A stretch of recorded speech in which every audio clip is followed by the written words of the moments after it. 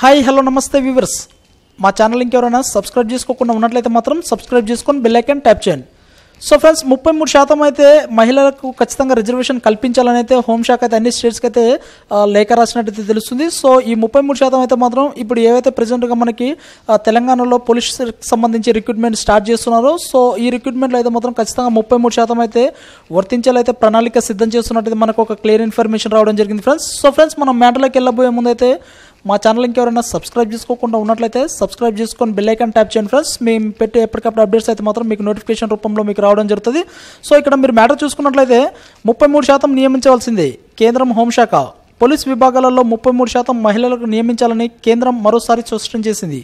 ఈ మేరకు అన్ని స్థాయిలోని ప్రాధాన్యత ఇవ్వాలని రాష్ట్ర కేంద్ర పాలిత ప్రాంతాలకు కేంద్రం హోంశాఖ లేఖ రాసింది. హోంశాఖ పార్లమెంటరీ స్థాయి సంఘ నివేదిక సిఫారసు మేరకు పోలీసు విభాగాలలో మహిళల సంఖ్య పెంచాలంది. ప్రస్తుతం వారు పది పాయింట్ మూడు శాతం మాత్రమే ఉండటంపై అసంతృప్తి వ్యక్తం చేస్తున్నట్టు తెలిసింది. ఇందుకోసం ప్రత్యేక రిక్రూట్మెంట్ నిర్వహించాలని అయితే కేంద్రానికి అయితే లేఖలు రాసినట్టు తెలుస్తుంది. సో ఇప్పుడు తెలంగాణలో వేయబోయే రిక్రూట్మెంట్కి అయితే మాత్రం ఈ ముప్పై మూడు శాతం అయితే వర్తించాలైతే ప్రణాళికలు అయితే సిద్ధం చేస్తున్నట్టు తెలుస్తుంది. సో దీనికైతే వర్తించుతుందని చెప్పడం జరుగుతుంది ఫ్రెండ్స్. అయితే మనకి ఇక్కడ ప్రస్తుతానికైతే పది పాయింట్ మూడు శాతం మాత్రమే ఈ రిజర్వేషన్ ప్రస్తుతానికి అమల్లో ఉంది.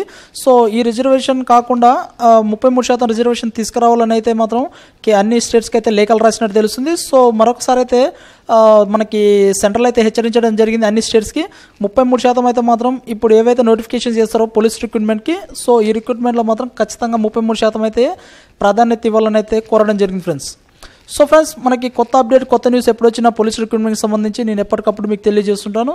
సో మరి మీరు ఇప్పటికీ మా ఛానల్ ఇంకెవరైనా సబ్స్క్రైబ్ చేసుకోకుండా ఉన్నట్లయితే సబ్స్క్రైబ్ చేసుకొని బెల్ ఐకాన్ ట్యాప్ చేయండి.